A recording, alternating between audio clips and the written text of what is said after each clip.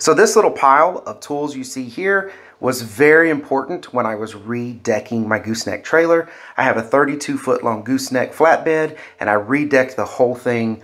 These were critical. Every one of these did great.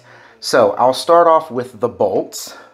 So these are the bolts that I used to hold down the 2x8s that I put on there. I put 2x8 treated wood and these were awesome. So I didn't buy the self-tapping bolts to put those down. Uh, basically, everything I read said they really just weren't that good. They didn't hold up, they'd rust.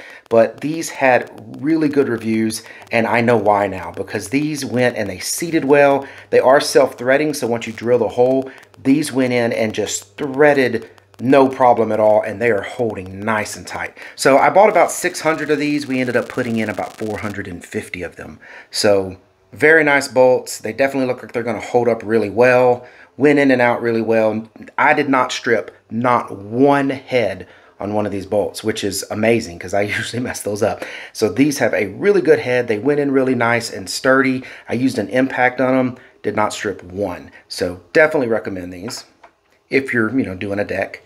Now to do that though, I bought this 10 pack and I bought a 10 pack because just like I said, I totally expected to strip a bunch of these heads. I expected to actually break a bunch of these because I didn't even use my, my quarter inch impact. It wasn't even strong enough to put these in. I was using a half inch impact and I was really putting some pressure down on these with some torque and putting them in nice and strong.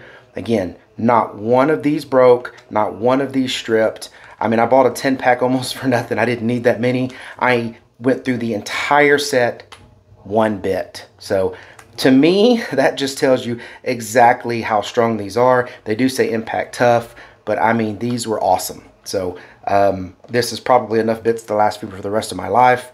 And again, awesome. I would totally buy these again.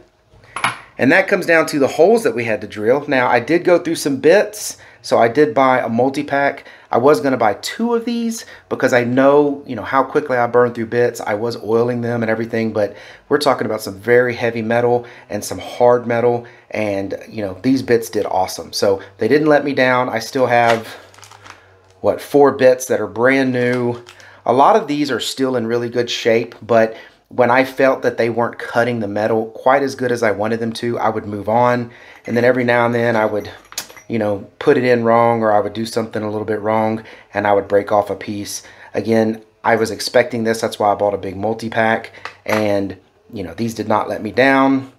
I'm, you know, ended up with four brand new ones still and, you know, probably many more of these that are still nice and sharp that I just moved on because I didn't want to wear them out. So every one of these items here, I definitely recommend. If I was redecking that trailer again, I would absolutely pick these three things up again because they all worked together. Here, let me show you the size two.